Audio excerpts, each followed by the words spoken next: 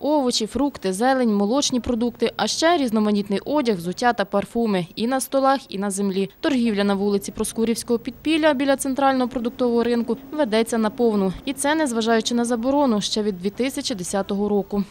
Заважає. Заважає, якщо чесно. Вже ж один період було, що її не, не було, але зараз вже знову відновилося. Не знаю, чогось вже припинили оці, як то кажуть, гонитви. Це негативно. Негативно. Я думаю, є ринок, можна все придбати на ринку. Без цього можна обійтися. Все ж таки центр не, не гарний. Ні, ні, не заважає. Продавці ж кажуть, якось же треба заробляти на прожиття. На хліб хочеться зробити, ні пенсії в мене ще немає. І, а діти ростуть, і треба їсти хочуть, і, і треба їх виховувати і вчити. На питання, чи знають про заборону торгувати тут, продавці відповідають неохоче. Я інтерв'ю не даю. Знаєте про заборону продажу на цій олеці? Ви налогова чи хто? Платять за оренду? Ні. За це місце? Не платять? Ні. Тобто самовільно подають? Да. Якби було місце тут. Звичайно, хай би платили люди і все. Нема ні прилавка, ні місця, нічого.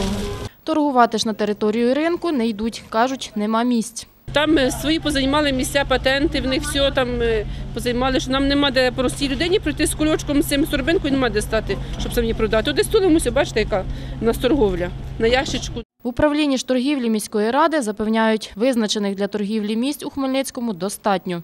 У нас місто ринкове. Багато ринків на Львівському шосе є продовольчий ринок, на центральний продовольчий ринок, ринок в мікрорайоні Ракове, ринок в Дубово, також змішаний ринок по вулиці Кам'янецькій.